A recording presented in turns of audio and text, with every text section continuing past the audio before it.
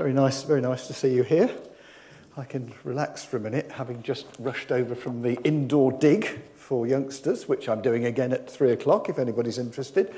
Um, right, I have a few um, housekeeping notices to start with. Um, welcome to the Festival of Ideas, uh, an absolutely brilliant idea Um, this is my fourth visit here. I keep inviting myself back and people keep accepting the invitations. Um, my name is Julian Richards. I'm an archaeologist, um, an educator and Stonehenge obsessive, but I'm not talking about that today. Um, and I'm going to be chairing the event today um, on the basis that I know Phil. And uh, apparently no paleontologists were available at the time, so they're using an archaeologist instead. Um, right, well, it is a great pleasure to introduce Phil Manning, Chair of Natural History and the Director of the Interdisciplinary Centre for Ancient Life at the University of Manchester. Um, Phil is a fellow of the Explorers Club of New York, the Geological Society, and the Royal Geographical Society. Um, you may recognise Phil from some of his TV appearances. Um, he's a, both a curator and a museum consultant, but he's researched and built exhibitions all around the world, and you've probably seen his recent uh, program on the, they described them as the, the badlands of uh, Wyoming, is that a correct term for them? Dinosaur country, where he tells me there's actually a dig going on this very day and images have arrived. So what Phil's going to do is to share some of the findings from this very spectacular Wyoming site where he's been working since 2016 and reveal why the site is so important. And also, I suspect, talk about the recent BBC TV programme. So it's with huge pleasure that I introduce Phil. And just to point out, Phil, I'm wearing dinosaur socks in your honour. So, Professor Phil Manning. Thank you. Thank you. That was good. Good afternoon, everyone, and uh, thank you for coming inside on one of the most beautiful days of the year. But it is aircon in here, so you're going to get some advantage, I hope. But um, I want to tell you a story. I think we forget that when we talk about science, it often terrifies a lot of people, but it's just another wonderful story. Science is often delivered to us in a fashion that we find it a little bit inaccessible. It isn't. It's beautiful. And the wonderful thing about science, like all good stories, it has a beginning, a middle, and an end. But it's one that's continuously being written. And it's one which is being written by thousands of scientists around the world, but also scientists such as yourselves. Every day you get out of bed, you make decisions. You predict what's going to happen and you plan accordingly. And even when you're baking something in the oven, I look at cooking as a scientific experiment. Because guess what? It can go wrong, especially like mine, my cooking can. But the wonderful thing about when things go wrong in science, we learn. One of the most important things we, things we do as scientists is make mistakes. And um, what I'm going to bring you into this strange world of was, was the slings and arrows of misfortune that chase us in the field of paleontology. It's a wonderful field, and we mustn't forget that when we look at universities and so on, that's, that's academia. For me, when I'm in the field, actually working on these objects, that's science. We mustn't mix the two up. They're two very different worlds. So let me bring you into my world, and I'm going to tell you about this wonderful place which has inspired Julius Csotonyi to make this beautiful image which represents a snapshot in time. How do we get to that moment? How do we recreate when dinosaurs roamed the earth? It's such an abstract thing for us to think about. Just think when was the last time you saw a dinosaur? By the one you're looking at now. Maybe when you're outside, you would have spotted some floating around on the lake, quacking away. Or maybe trying to take your sandwiches. The geese are very good at that here at the University of York. But those are the direct descendants of dinosaurs. We still can see just ghosts of the past in some of the life forms that are alive on the planet today. So when you next look at a bird, Think of it not as a bird, but as what I would call an avian theropod. Great word, theropod. Sounds like something you go to the doctor, they give you cream, and it clears up in a week. A theropod is, means literally beast foot, and it refers to all of the predatory dinosaurs. So the dinosaurs are well and truly still with us today. They've just evolved feathers. These ones, from the evidence we have so far, didn't have feathers. If you want to study Jurassic dinosaurs, you don't have to go very far. Does anyone recognize where this is? Not Kimmeridge, but that's a really good, whoever's whispered Kimmeridge there, I'm impressed. Because that's Jurassic down on the south coast. I was only there a few weeks ago with my undergraduates. This is a little bit closer to home. Ravenscar, you're in the right succession. It's not Ravenscar, but it, this is Whitby. And you're looking up towards Salt, Saltwick Nab. And this is what, what always worries me that they call it this, is jump down bite. Don't jump there. It's very sheer. But you're looking at layers of rock that were laid down when there was a low-lying coastal floodplain on what is now the Yorkshire coast some 175 million years ago. And by reading these rocks, and geologists can do that, when you turn over a slab of rock, you are turning the pages of a book. And you can read the information from that book, whether it be through the sediments, the structures you see, or the life that you find within these rocks. It can be quite precarious in Whitby. Before they put all the sea defences up, you would often get wet because that's, that's the Whitby Harbour when you're going here. You're coming round, there was, a, there was a cut-off point, and this is one of my colleagues about to get very wet.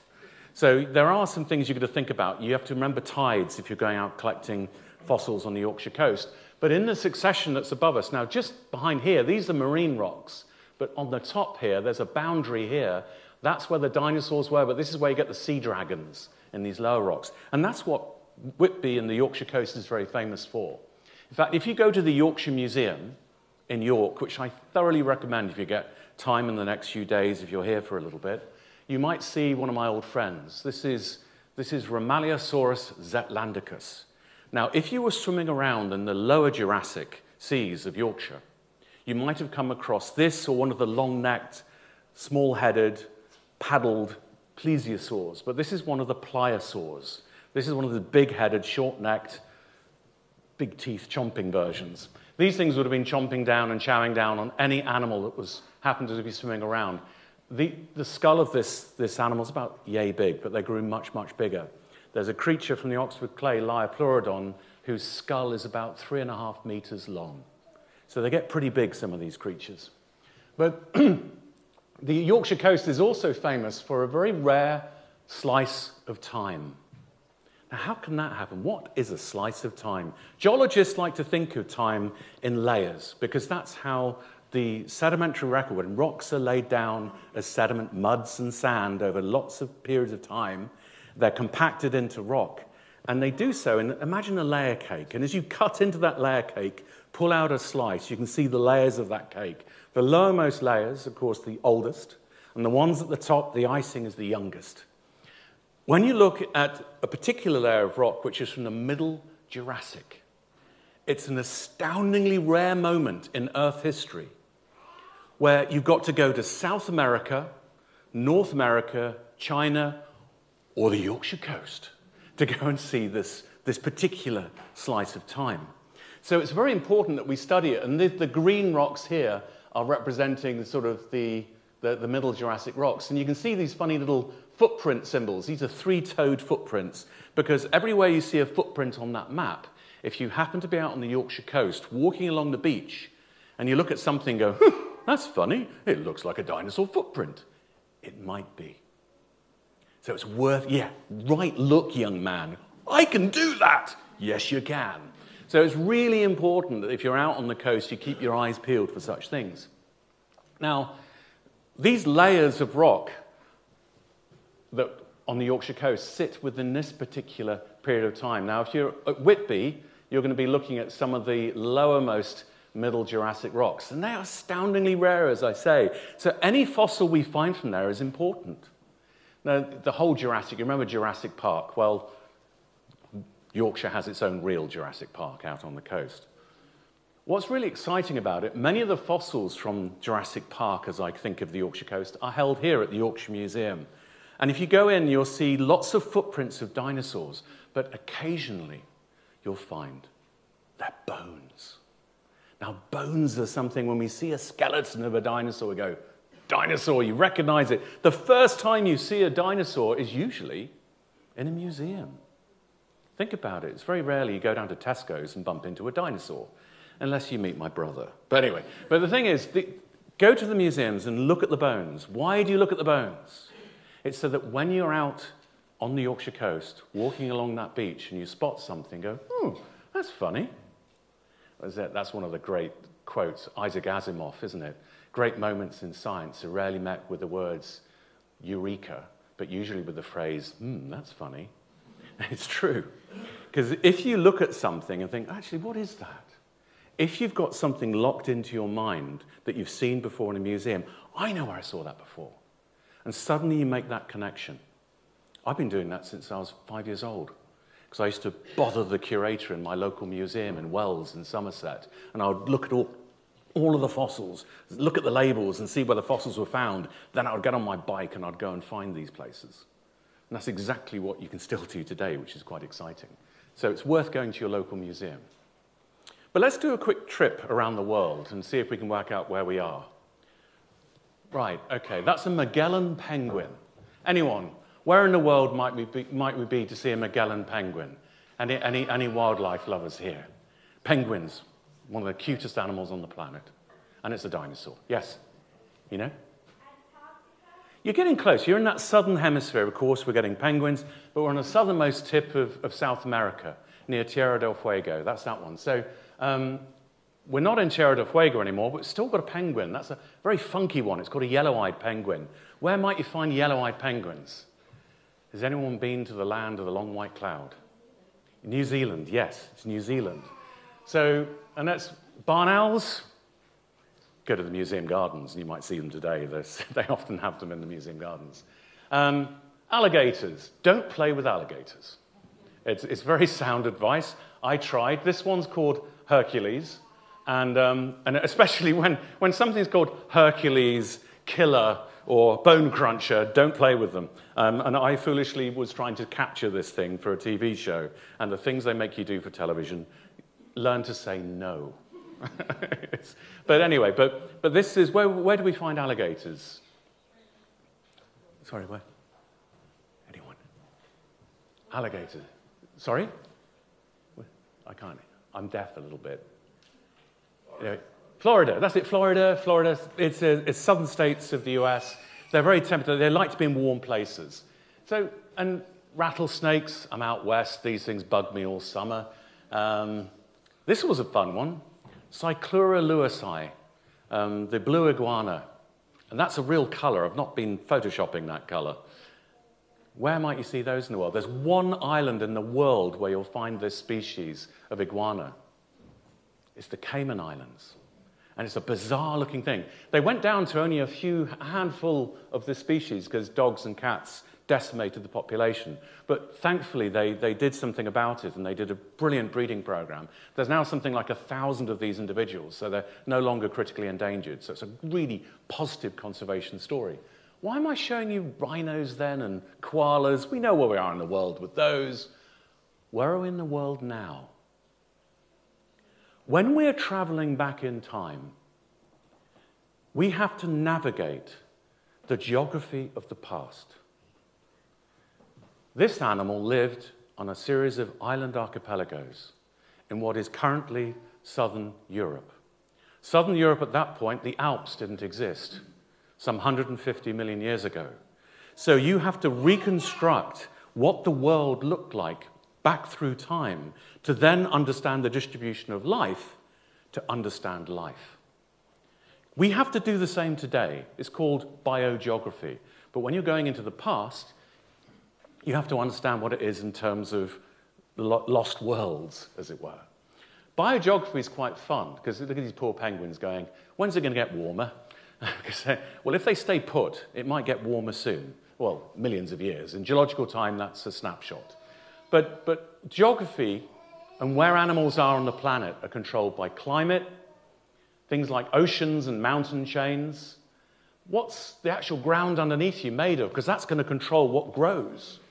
And then also, if an organism starts evolving in one part of the world and it's an island, the chances are it's going to stay on that area for a long period of time. So, to be quite honest, when we look into the past, it's very hard to constrain what's happening with the evolution of life. That's why we have to be very careful, especially because this is going on all the time. Yes, hold on to your seats. We are gradually drifting north, roughly, and this is a disgusting fact, about the same time at which your toenails are growing. Same time speed as of your toenails. Horrible thought, isn't it, really? But, but this global ballet, which has gone on for hundreds of millions of years, continues to go on today. Now, if you're an organism living on this continent, having, oh, this is wonderful, I've got all this access to all of this landmass, then suddenly the landmass starts breaking up and your, your range gets smaller. Oh, it's going to get even smaller in a second, and even smaller. That has huge impacts on the evolution, what happens to your group of animals. And this is what we have to bear in mind when we're looking into the past. Now, for instance, this is Yorkshire. we'll meet this particular character in a minute. And when Europe and Asia, which were connected, broke apart from North America and South America, you got this rift, which we now call the Atlantic. And anything that's sort of stuck here is going to maybe look a little bit different. When did this happen? It's about 175 million years ago. What is the age of the rocks on the Yorkshire coast? For the Middle Jurassic, about 175 million years. Perfect time for us to study what's happening. And there we have Yorkshire there. This is the Cleveland Basin as it was slowly infilling. And you've got land here. This is all land. And this dot is when we've got marine reptiles stomping around. But on the shores of this little island, there would have been pockets of various dinosaurs going about their business. And there's probably a close enough land masses to allow some movement still between animals on this side of the pond to this side of the pond at that point. What does it mean in terms, when you look at, this is a family tree, it looks really messy, but again, look, this green line represents what is the Yorkshire coast. And it's a point when we're seeing the last vestiges of the breakup of the northern supercontinent, southern supercontinent. What does that mean? It means that the rocks of the Yorkshire coast are really important. It gives us insight to what's happening. Now, this is Alan. We didn't have enough information to give a new genus and species to Alan, but Alan was important. I was walking along the beach with a group of friends a few years ago, and I was explaining what fossil bones should look like. Because people hadn't found dinosaur bones on the Yorkshire coast for over 100 years. Because all you find are the footprints on the Yorkshire coast. Wrong place to find bones. Okay, I'm going to keep looking because they're here somewhere. I used to go on about this. And I said to my friend Alan Gurr, who was a lovely chap, police forensic scientist, a really good scientist. And I said, well, these bones are going to be very distinctive. He says, why? Said, well, they're going to look like bones. But going to look like big bones. He said, well, what does a big bone look like when it's been weathered a bit? I said, well, it looks a bit like a crunchy bar. Because look, when you bite into a crunchy bar, you've got those little holes through it. That's a bit like what bone looks like. He said, oh, like that. I can't say what I repeated at that point, because I've been looking for a long time. And this toad, no, he was lovely. He said, look, that, that, that looks like it. I said, yeah, that's another dinosaur I've not found. Anyway, but we picked it up, and it was, it was Alan. It was a vertebrae from the, um, near, near its backside. So it's on the tail of the dinosaur near its bottom. And that's really important for this group of dinosaurs, the sauropods, which are the long neck, long tailers, because bones here are very diagnostic. That allows you to identify lots of things about this animal. And it was very exciting because it had lots of strange bumps and lumps on it that made it look very, very primitive. That means it belongs at, a, at one of these crossroads in the evolution of dinosaurs. Another way of putting it is if you zoom in, oops, zoom in, there we go, um, it, it sits here. And it was the earliest type of this group, the Eusauropods, anywhere in Britain at that point. So I kind of look at those as being keystone, and I love these.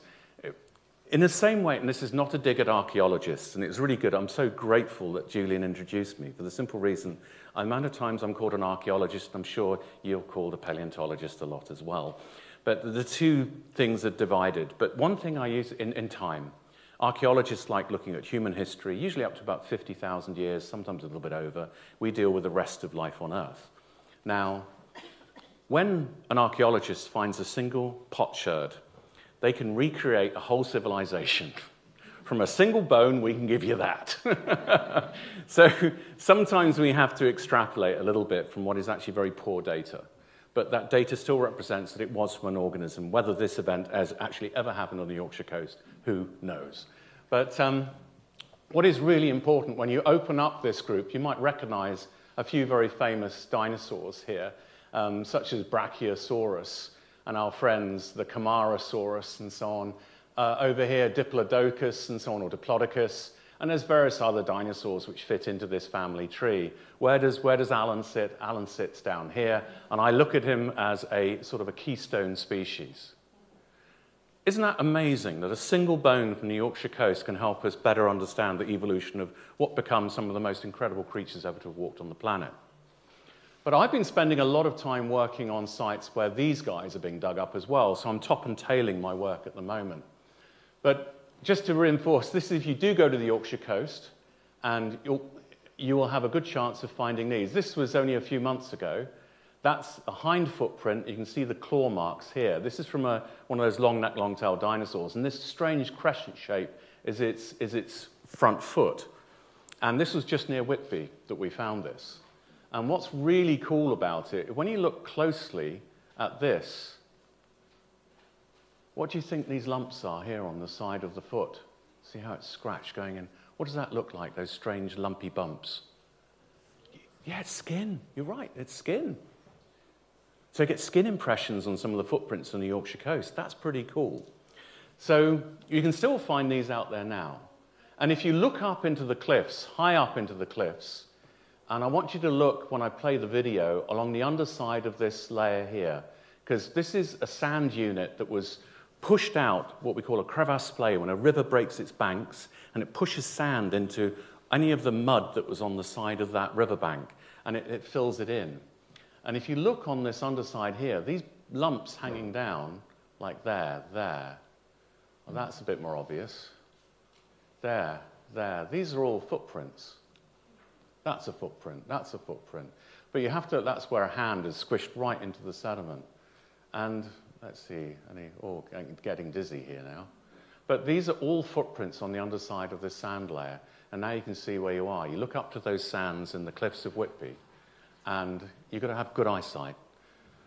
But please be careful. When you're out, these cliffs are really dangerous. It's a tidal platform, so please, if you're going out there, make sure it's a falling tide. And don't go directly underneath the cliffs. Um, one of my friends, Nev Hollingworth, was out there two days ago and the cliffs were falling down around him as he was looking for fossils. So you do have to be careful when you're out there. When we're out there with our students, we make them all wear hard hats, so we've got to be careful. But this is where we are on, in terms of Yorkshire coast, back in the middle Jurassic. I'm also been looking at material down here in South America. And it's wonderful some of the vehicles you get to drive, by the way, in the field. This, this is a converted Fiat 127, otherwise known as a death trap. Um, if you ever see a vehicle which has no guards over its wheels and you're driving in a sandy substrate, avoid, avoid, avoid. Because do you see those marks on the windshield? That's, that's all from stones hitting it at speed. So it's one of the most lethal things I've ever had to drive in. And I've seen large bones of dinosaurs, this size, sauropod bones, strapped onto the roof of this particular car. It's not the safest vehicle. I much prefer the Land Rover in the background. But the one thing I was known for in um, South America, which is rather unfortunate, but I'll admit it today, I got a nickname. You always want a nickname in the field, one that you're going to be proud of. I tend not to tell people this one. Um, this object here is rather rare. It's a bunch of plant material squished up into a ball. What does it look like? Poo, thank you. It's poo. It's the best thing ever, poo. It's dinosaur poo. Poo is rare in the fossil record for di- dinosaurs. Plant eaters astoundingly rare. It's like a little ball of dung. And I got the nickname of Signor Coproliti. Mr. Poo. Yes. Anyway, but the things we remember in the field. But this, these dinosaurs, again from the Middle Jurassic of Argentina, like our friend Patagosaurus here, are pivotal in our understanding of Alan.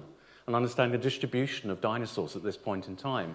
The ones in South America are still quite similar to Alan because the continents haven't drifted apart and the, the, populations haven't started changing into these weird and wonderful forms we see later in the Jurassic. For that, we have to go to North America. And this is where I've been spending the last six or seven years digging at an amazing site with a wonderful museum in Indianapolis called the Children's Museum of Indianapolis. They have a fantastic dinosaur exhibit of the late Cretaceous. And they said, Can you help us with a Jurassic one?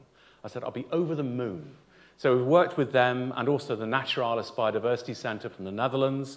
And we've had colleagues as well coming out from the Natural History Museum in London and our team from the University of Manchester. So a big international team comes out because there are bones everywhere. If you're a budding paleontologist and you want to go and find dinosaurs, I could blindfold, blindfold any one of you and you would find bones at this site. It's an embarrassment of riches. These limb bones and these are line of vertebra, they're actually still in situ. And I know I'm short, but those bones are big. And we've been digging there for creatures such as these, the sauropod dinosaurs, for, the, uh, say, the last seven years. And this is where we are. Now, this is in Wyoming, and this is the boundary between, that's Montana up here, and we're into just Wyoming here. The site sits on the boundary between Montana and Wyoming. And we're literally in the beautiful middle of nowhere. And it's, this hasn't been photoshopped. This is the color of the sediments. It's one of the most beautiful places on the planet. By the way, one of the things I really want us to do generally in the world of natural history, paleontology, and science is fall back in love with the planet. We need to love this planet a little bit more. We tend not to hurt things that we love, but if there's something to fall in love with, it's this scene. It's absolutely beautiful. These are the Pryor mountains in the background. We look up to these and we see the snow slowly melting through the field season. It gives us a measure of how hot it's getting. I say hot, it can be cold as well. When we got the site back in 2016, um, anyone who can uh, do the conversion, this is Fahrenheit. So um, let me think. Let's do a quick conversion. Minus 4 is minus 20 Celsius. So the other numbers become almost immaterial at this point. It's absolutely freezing. We got the lease for the site, and a team of us from the Children's Museum and Manchester went along to make sure all of the bones were put to bed for winter.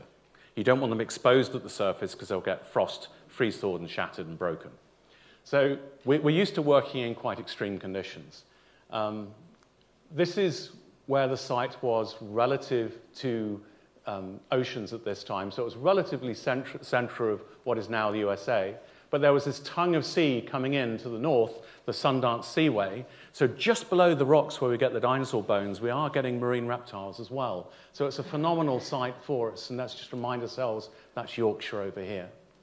Now, this is one of the typical scenes. When you think of Jurassic, it's funny, you say Jurassic Park, the first dinosaur you're all thinking of is T Rex. You are closer to T Rex in time than T Rex was to these dinosaurs. Such are the depths of time when you're dealing with geological time. Think about that. That's a huge time difference. These dinosaurs are horrible to excavate. I have learned now that lap sized dinosaurs, or ones that you can cuddle, are the ones I want to work on. When the bones are as big as you, it has all sorts of logistical issues of how to get over that in the field.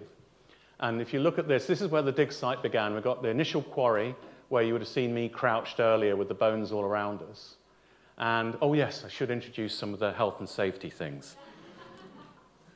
now, I have tracked a grizzly on the site once. That's once too many. We're near the Pryor Mountains where grizzlies are quite well known. Um, rattlesnakes are not uncommon. Scorpions they're not meant to be around in Wyoming at this um, latitude. They are. And they're horrible when they crawl down your neck, that's all I can say. And the black widow spiders and so on. The bunnies are lovely, but if there's bunnies around, there's things that want to eat them. So you've always got to be aware of this. And I always love this. They're very, very kind in North America. They give you stickers as to what not to do with your, with your equipment in the field. And I, I have no idea what these people are doing. But anyway, but there's some very strange directors you get. But we do use quite heavy equipment. And it surprises a lot of people. When you have this image of archaeology, you've got people working with delicate instruments gently brushing away the sediments.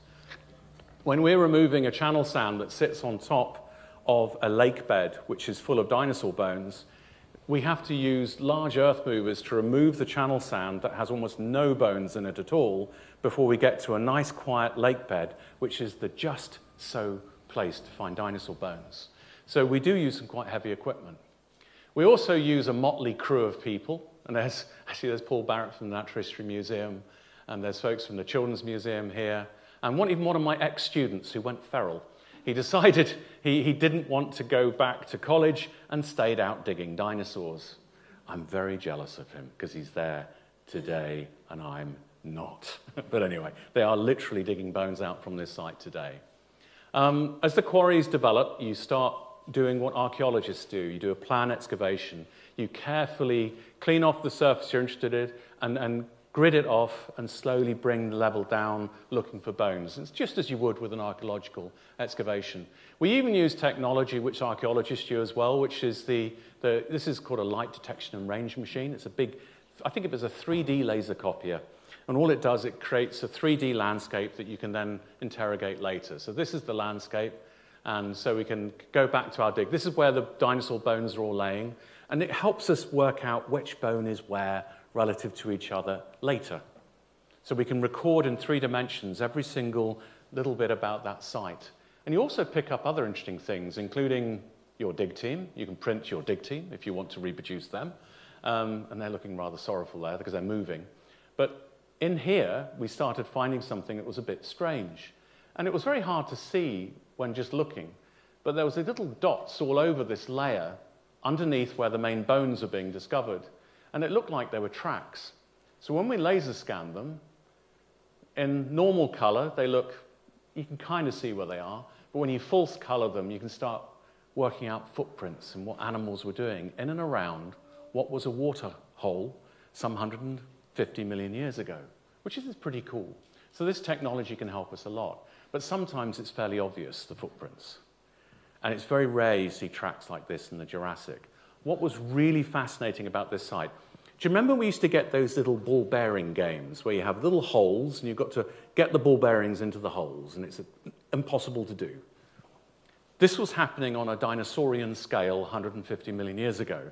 And as the muds were washed in, which is an upper layer, across the surface which these animals have been walking, the bones of animals on that surface were being pushed and they would fall into the tracks.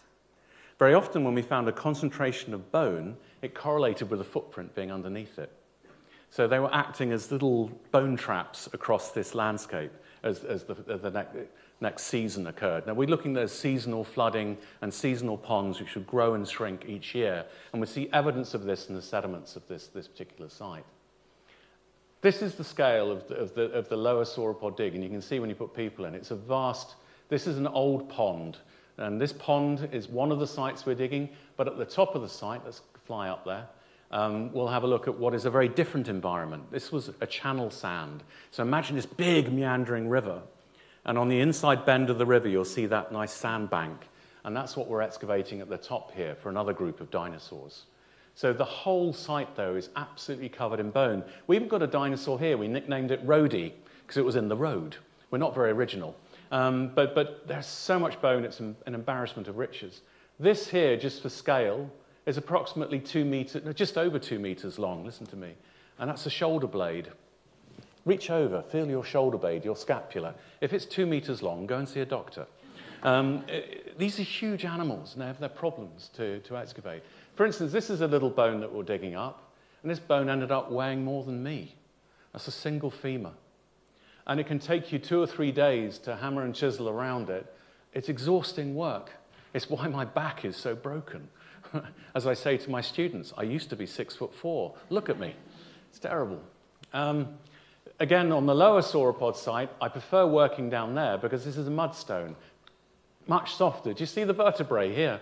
There's a tail just beginning to appear here that one of my colleagues is digging out. This animal's literally gone, laid down in this pond area, died, and it's beautifully preserved. The bones are almost three dimensional. And at that point in 2019, we had that much. We're up to about 90% complete on this skeleton now. And you'll see it on display in a second. It's the best thing about this. You get to see the end product. Occasionally, you find what articulated bones look like. So this is the, um, if I'm looking at the, that's your, your fibula here, this bone. And that's the long bone of the foot, which we walk on. And that's the toes going down here. That's part of the pelvis here, but the, the head of the femur, the, rather the, the, the femur where it connects to the tibia and fibula is here, so that's the upper bone. It was an articulated dinosaur, and it belongs to one of these, an Allosaurus. So the site is not only bringing us the plant eaters, the sauropod dinosaurs, we're getting the meat eaters that would have eaten the plant eaters. How do we know that? Just look at the bones of the plant eaters, and we find gnaw marks where they've been literally butchering. Actually, when I lived in York, I was a member of the Butchers Guild. And every now and then we'd do a thing called the mystery plays, and it was quite fun. But um, I didn't, I, when I learned about butchery, it was really here in the field, because when we look at the bones of these creatures, we can see how the predators would take apart these, these other animals. So this, this is what the dig site looks like for this other dinosaur on the top site. This is an, an apatosaurid type dinosaur. I always love their vertebrae. If you like Star Wars, it looks like X-wing fighters, the vertebrae on these things. But again, so we've got two of these animals digging out. So there's our lower quarry, there's the upper quarry. As you're going up through the quarry, you get younger. It's the best thing about this site. Every day I don't mind going uphill because I feel I'm getting younger. There's the only way I'm going to get younger. But as you're going through, oh, sorry, if you're going, going through, there's the lower quarry, there's the upper quarry. You're going through layer upon layer. You're traveling through different environments through time and space. It's wonderful. But the best thing is when you work with someone like the BBC, they can bring this world back to life for you. First thing, these are monkey puzzle trees. There's lots of fossils of those we find within this site. But as we fly over the monkey puzzle trees, we'll come across a pond. This is the lower sauropod quarry. In it, as the pond dried out, Animals that were coming here during the dry season ran out of water, and potentially predators took out weaker individuals. We know predators took out some of these individuals and killed them because we have the bite marks across the bones. They're remarkable fossils. And as the rainy season came along and waters washed into this, muds covered over the carcasses of these different animals, they were preserved in this perfect environment, these very fine grained mudstones. And then we come along a few years later to move these things. Now, here's the thing you have to be quite good with diggers. If you're anything like me as a five year old, I loved diggers. I still do. Diggers saved me breaking my back, especially when you're this field jacket here. This is a plaster jacket. We cover the bones in first in very fine paper, then we push um, aluminium foil, if you're in America, aluminum, into the every little crack, then you cover it in plaster and burlap. And that allows you to protect the bones. Because just like when you break a bone, you don't want it to move, you put a plaster jacket on your bone. We have to do the same with our dinosaur, but it's not going to heal. That has to go back to the lab and they'll repair any bones there. We're not going to resuscitate it. But the nice thing is, though, when you create these jackets, this one here weighs about four and a half tons. So you've got to really think about it when you're putting the straps on this, when you're lifting it. That's the first time that dinosaur's moved in 150 million years, and you've got a responsibility. You don't want it to break, and you don't want it to knock into any bones that are around it as well, because that could cause damage. So it's a really, really careful process of lifting our little spaceship here and putting it onto a, a, a vehicle that we can take it out and bring it to the museum. We also got to be careful because if one of those straps snap, it can cut someone in half. So you have to be very careful when you're moving such heavy weights in the field. So the only ones who are expendable are, of course, are the professor and, um, and one of my students. No, he's no longer my student. We're not allowed to put our students in danger, and we shouldn't anyway. But as you see, no one is working in and around that area when we're lifting these things. It is really dangerous work. But it's fun and it's usually 45 degrees C when we're working in that particular quarry. This is what the bones look like when you start cleaning them up. And this is what's so amazing about the bones from this particular quarry. They're three dimensional, they haven't been crushed. Usually, the bones of sauropods are horrible. They're almost paper thin. For an animal the size of a house, the bones are actually very delicate. It's an example of some of the most exquisite engineering I've ever seen. In fact, I'm working with aeronautical engineers at the moment to reverse engineer structures from bones like these so we can build smarter, newer, tougher materials for the aircraft of the 21st century, believe it or not. It's called paleobiomimetics. So we're using sauropods to help us um, build planes nowadays because they, they solve problems that we don't have to. And they have a lot of bones in their body for us to choose from when we are studying them, but pretty much the, the bones that we recovered from our lower sauropod are enough for us to describe it. And we'll publish on that soon. And hopefully there'll be a new type of dinosaur for people to ogle at. The preparation on the bones continues. Or I should say, if you look here, this is the tail, and there's some, well, it's hard to see on this diagram. Oh, there you go. Those parallel lines there are tooth marks on the bone. And they tend to be near where the bones go together, the vertebrae. Why is that? The animal that was eating it was doing some butchering. It's really hard to pull vertebrae apart. There's a thing called an intervertebral disc. It's very strong. It's what holds our spines together. But if you pop the disc, you can separate the bones and take away a chunk of meat and eat it. And the predatory dinosaur was deliberately biting at the joint capsules. How brilliant is that? Very, very deliberate. That's behavior. It's nice to see it fossilized. And, um, but this is what they look like in the lab when you open them up, the, the field jackets and the bones look, that's, a, that's the bottom of that bit there, is that bit there, promise you. That bit there, you can just about see here. And it takes a huge number of hours to recover these. This is one of our shoulder blades, well, not mine, but it's from one of the sauropods. And you slowly build up a picture which allows you then to reconstruct the dinosaur and its mount. Sometimes the bones are too heavy, so you use cast. And it's a good idea with the sacrum, the bones going through the pelvis, they're so heavy.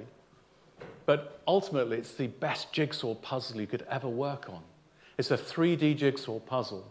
And we've built this now, put it together, and if you find yourself near Indianapolis at the Children's Museum, you can see our friend from the upper sauropod quarry and the lower sauropod quarry on display in a museum. It took us four years to complete the dig to get these out of the ground and on display, which is a remarkable amount of time. The best thing about it, though, is that we used to bring kids out to the site as well. If I had done that, I would have been impossible as a child because I always wanted to dig up dinosaurs. I never got that opportunity. But opportunity makes itself sometime, and there are places in the UK where if you want to go and dig dinosaurs, you can. There are wonderful sites on the Isle of Wight, Yorkshire coast, through Oxfordshire. There are quarries where if you get safe legal access into that quarry, you can explore the world of the dinosaur yourself. If you want to learn more about this particular dig, please you know, explore maybe BBC iPlayer, and you can get a glimpse into the world of the sauropods. And it's not just about the dinosaurs. Look at these wonderful plants. When you reconstruct this lost world of dinosaurs, very often you have this sterile plain where you put the animals standing there going grrr at people. But actually, they lived in some of the most beautiful environments that are very rarely fully reconstructed. All of the plants you see here in this, this, this painting are a function of plants which were found as fossils within the excavation site at the Mission Jurassic site. So it allows us this glimpse to reconstruct more completely what this, this world of the dinosaurs was like some 150 million years ago. You say, why should we do this? Why, why, why bother looking at dinosaurs from all this time ago? These dinosaurs were alive at a time of great climate change. The stress that was placed on these ecosystems are mapped through what happens to life through time. By understanding what happened in the past, looking over your shoulder, that hindsight of past, what's happened, can teach us to what's happening today and maybe help us better predict what's happening in the future for our planet. The past is a very different place but it's a very rich place for information to help us hopefully not make the same mistakes that some species have done in the past through none of their own making. We seem to be doing it well for ourselves. But I would argue, please, if you do get time, you can see this dig in more detail. And if you go onto iPlayer, you can see this program. But for me, the most important thing about this whole excavation is I get to work with some really good people, some wonderful friends in the field. So when I say to folks who want to be paleontologists, I say, go on, just go and do it, because you get to go and play, get ever so mucky and dirty as you want in the field. You can roll around in the mud, finding dinosaur bones. It's wonderful. And you've got mates with you who enjoy doing it as well. But it needs to be done if we're truly to understand this planet, fall back in love with our planet. We can do it as well as in the past, as hopefully as we can in the present.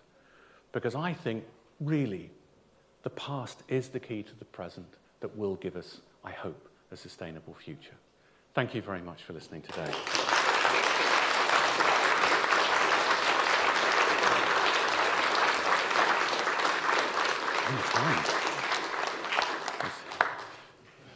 Thank you very much, Phil. I'm, I'm always sort of jealous of paleontologists because you're digging up dinosaurs and, and it's somehow... You do Vikings!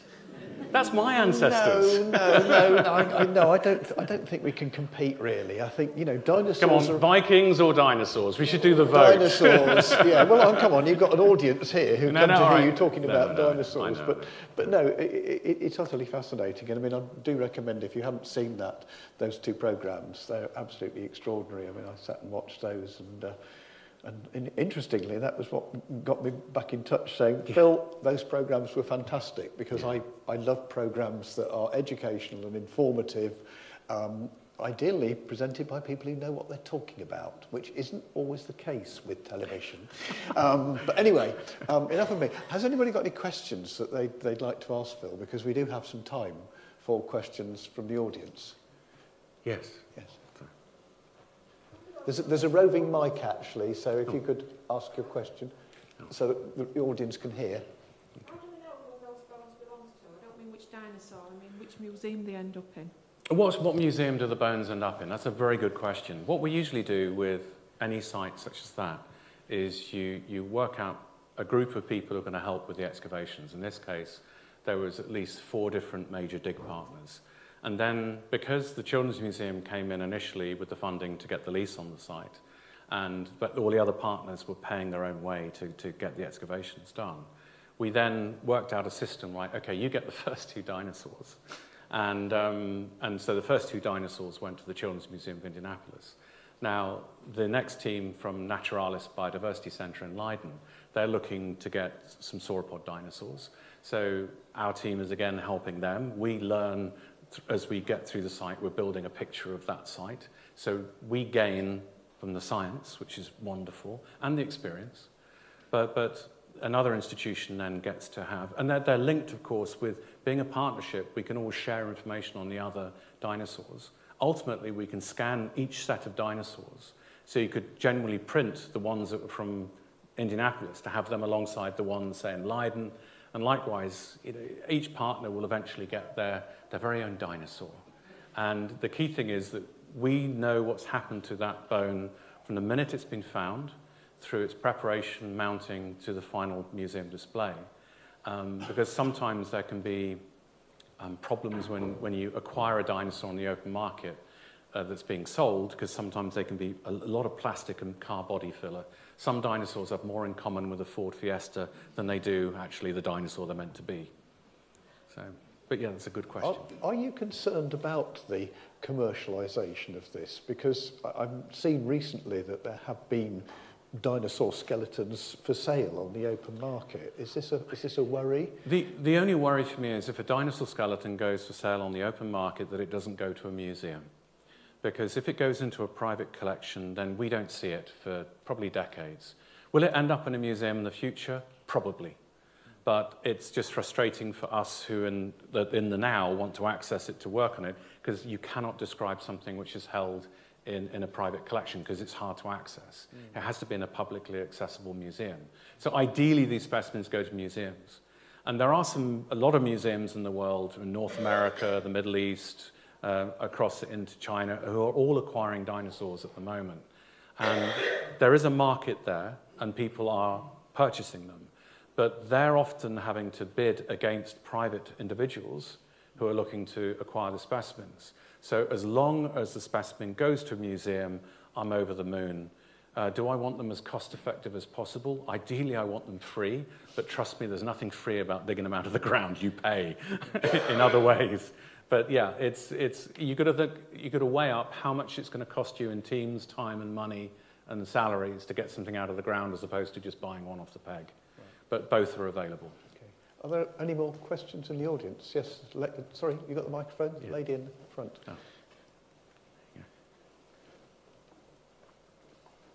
Hi. I was just wondering, is there a particular reason why there's so many dinosaur bones in that area that you're digging in? Like, was there a disaster or something, or is it just because it's untouched, or...? That's a really good question. How do you get all of these bones in one place, so much, so rich in one locality? We did a, a, a road trip in 2015 around all major Jurassic localities whose leases were coming up that we will be able to get access to. And every single locality had its own feel with regards to if there was going to be more bones or just there would be just maybe half a dozen bones from a skeleton. And out of all of the sites we visited, we went to the, what we now nicknamed the Jurassic Mile. This site just had so much bone exposed at the edges of the outcrops. And when we looked at the type of rock it was, we thought, this is a, this is a pond or a lake deposit. That means there's no current. That's a good place to look because that means the bones have not been washed away or redistributed. So you literally find a tailbone and it connects to another tailbone. You know the song, and I'll start singing. But but it's, it, the, the skeleton is basically um, semi-articulated to articulated. So that made that site a good one. And when we found at least two or three individuals poking out, well, that was the, the first sign to us to dig there. Why they're there? It's down to that depositional environment, that type of environment was a place where dinosaurs liked going. If you think of, if you go to the uh, North Africa today and you want to, when they take you on safari, I've never been on safari, I want to go, but when they take you on safari, apparently, you, they, the, one of the places they take you is watering holes. Because watering holes where all animals come together because they need water. And we found a watering hole from the Jurassic, basically. And where you've got a lot of life around it. If you go to a watering hole in Africa today, I've read papers about it, I'd like to go, just saying. Um, you, the footprints of predators tend to go around the watering hole, whereas the plant eaters tend to go to and from the water hole because they've got good peripheral vision where the predators are just waiting for their opportunity to run in and grab something. When we look at the footprints for our water hole, we've got footprints going around the water hole and some going to and from it. So we're working out the geography of our ancient water hole. So it's the, basically to use good old Rudyard Kipling, just so stories, it's that just so environment to preserve lots of animals. Um, terrible for them, but wonderful for us. Thank you. Have you got the microphone? There's a lady. And then I'll go for the gentleman there and the lady okay. there, and I'll work oh, over to there. I just wanted to know what's the most unusual thing you've found on a dig? I mean, obviously everything's quite unusual. You're digging up dinosaurs, but is there something like you've just gone, oh? Well, it's funny every single bone we found on the dig, and in all honesty, any paleontologist who works in the field, you start digging out a bone and it starts getting bigger, bigger, bigger, bigger. When some of these bones are, as I said, over two meters long, half a meter wide, they're giant. And so you keep saying, what is it? Well, I think it's one of these. They've got this ridge. It's, it's definitely one of these. It gets bigger. No, it's not one of those. So you keep, and it keeps changing. So what, what's your bone become today? You know, you go, well, yeah, I think it's one of these. And eventually, suddenly, this three-dimensional structure appears in your head and it locks in and go, I know what it is. And you get do the bone dance and everyone's happy. And but then, because that's important, because if it, it helps you relate to where you are in the, the overall geography of an animal, and it says, well, that means the skull is that way. You never use the S word when you're on site because you never find it otherwise. So it's, it's it, for me, every single bone that we dig out of the ground is exciting because each one tells a story and um, each one is important as the next, whether it be a fragment of bone to a tip of a tooth to a whole sauropod femur. They're all important. No worries. Was there a gentleman somewhere that wanted to ask a question who'd had their hand up? Oh, there's a yes. boy in the middle row. I'm going to pass the What's the most common or least common bone you found? The least common bone is easy. That's always the S word. Skull bones are astoundingly delicate. And unlike us mammals, the, the bones fuse as, as adults. But as adults in dinosaurs, the bones still don't fuse.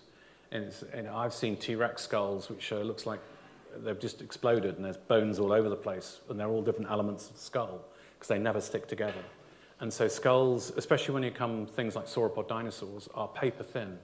So they're, they're, they're really hard structures to find and they often get crushed. So they're, they're probably the rarest things we find. Um, I would include with the skull material soft tissue because occasionally things like skin impressions or the sheath on a claw, the keratin, uh, the actual fingernail as it were, sometimes gets preserved. We've seen that on some fossils recently, and that's beautiful. Um, the, most common the most common things are two things, really. Teeth, because dinosaurs continually replace them through life, so you get lots of shed teeth. And when predators were eating, they'd often lose teeth and have new teeth growing behind it to push through. So teeth are actually quite common, especially on a site like this, because there's lots of animals taking advantage of these giant larders of, of dead dinosaur. So it's bringing in predators from miles around. The smell must have been wonderful. So teeth are quite common. But then you're looking at some of the largest bones. Large bones, like the big, big limb bones, um, tend to survive. And then the vertebrae, the backbones, ribs and smaller bones, cervical ribs, the strange ribs on the neck and so on, or the ones that hang underneath the tail, the chevrons. They, and the more, the further you go down the tail, the smaller the vertebrae become, they become rarer too. Some of them are the thickness of pencils, the, the, the vertebra from the end of the tail of sauropods, and they're very rare. But we get them at this site because it's a pond and there's nothing. The, the only thing that can disturb the skeleton is when other animals wade in and start kicking the bones around. We found footprints which have moved bones, which is pretty cool. But so it's in that kind of order. So, so I'd say teeth are probably the most common and then large bones. But bring me some soft tissue preservation and I'm very happy. It's very rare. So, yes, it's lady there. Thank you. Um, so, just thinking, if you look at like modern animals, you know, you get a lot of species that have multiple morphs, um, but same species, or you can have very, very similar species that are different. So, what are you actually looking for specifically in, you know, de- somewhat degraded bones Yes. to actually recognise differences between how- species? So, how can you tell you've got a new species or maybe just a growth stage, which can be problematic? Because when you grow, your bones grow sometimes at different rates, and that can cause problems because you can have a juvenile of one dinosaur, which is an adult, the bones look so different, there'll be two different species. Ideally, I'd love to take some DNA from my fossil and, and reproduce how related they are through their DNA. But unfortunately, molecular approaches are not available to me in the fossil record. No DNA has survived from the age of the dinosaurs. Sorry, Jurassic Park fans. Uh, but, but there are other things we can look at. And, and I think how an animal grows often defines itself. So, for instance, if we can use new imaging techniques, uh, x rays, to look inside bones to see how the animal has grown, we can see maybe if they've got two bones which look like they're from the same species, if we scan them and they've got two completely different types of growths and structure within them, the chances are they're very different. So, but usually we're looking for the shapes of the bones. So we're dealing with what's called a morphospecies as opposed to molecular species. Paleontology has got a real problem with this. And for instance, if you're in the Hell Creek Formation and you find the bones of a predatory dinosaur, doesn't matter what shape it is, it's T Rex. Because they want to find a T Rex. Whereas if you're in a Morrison Formation and you're looking for a predatory dinosaur, there's loads of different types. Torvosaurus, you've got our friend Allosaurus fragilis, Madsoni, you've got the Ornitholestes, you've got it's the Ceratosaurus. I can keep going. It's, it's really so it's quite frustrating, and it's so uh, science can often bring its own baggage to the identification of species. But as we use more and more quantitative techniques now, we laser scan bones, and you can then create 3D meshes which you can then push into each other and say, okay, that is really different. Or you can see that this structure is only unique to this group. And that's why we got Brontosaurus back, for instance. Because Brontosaurus disappeared a while ago because it was thought to be the same as Apatosaurus. Because Apatosaurus got named first, it had priority. So Brontosaurus, a perfectly good dinosaur name, disappeared. But then uh, a brilliant scientist, young scientist, went out and looked at the bones, which were originally named by Marsh as Brontosaurus at the Yale Peabody Museum in, in the US. And he said, oh, actually, they are different. And he's found a few nubbins of bone, especially associated with the, the shoulder girdles. And it's distinct enough that he's resurrected Brontosaurus. Woohoo! Which I'm really happy about. Yes, exactly. Because it, so we, we can only base it, though, on the morphology of the bones. But it's a really fair question, and it's something that any scientist who's studying these things, if it even has the hint of being a juvenile, not fully grown, don't name it. If you haven't got enough, enough material, like Alan, give it a nickname. Don't name it, because you're just creating problems for other people down the road. But that's a really good question. You're a biologist, aren't you? Yeah, I thought so. right. Okay. Well, thank you, thank you, Phil. That was that was wonderful. It's it's just lovely to see passion, enthusiasm. Um, you have got a pretty amazing site there, It and it's so lovely to see that it's with the involvement of the Children's Museum. I just think that's such a such a wonderful idea. So, uh, no doubt you'll be back there Thank at you. some stage soon, won't you? To- I will, and, and, and I always say when people say hear the word children's museum, just never be ever take always. I say to my undergraduates every autumn, it's your task over the next three months to learn as much as your average seven-year-old, because the knowledge that kids have on the natural world should be cultivated and pushed and admired, and we need to maintain it through their schooling. It tends to get destroyed by the time they get to the end of their schooling, and we need to change that. And you, the new GCSE in natural history is going to come to us in two years, by the way. Sorry, I forgot that's the important thing. this is huge. You know, I, in, in the next two years, the, the, the Oxford Cambridge Board is, is doing this new GCSE in natural history. And I, I think it's wonderful we can start looking at the world again, looking at the environment that sustains us, and understanding the mechanisms in Earth systems that are so critical to maintain, because we don't teach that anymore, and we need to. So this new GCSE will come online in the next 18 months to two years. I'm going to take it. I sit on the board who's helping, helping with it, but I'm still going to take that GCSE. It's one I want to have. So I, I really, any munchkins here, and I, sorry, my daughter who's in her late 20s, oh, I still call her munchkin, sorry. Any, any kids here, please bug your teachers about the new GCSE, GCSE in natural history. I think it's your world that you're going to take over from the mess that we've left. And I think we need to train you better in how that world works. And I'm hoping the new GCSE, GCSE will help us do that. Sorry, I'll get off my soapbox no, now. That's, no, no, soapboxes are fine. I'm heartily agree. Anyway, once again, thank you, Phil. Thank you for coming to the Festival of Ideas. Enjoy the rest of the events that are going on this week. And thank you, Phil, for sharing that amazing story with us. Thank, thank you. you. Thank you. Thank you.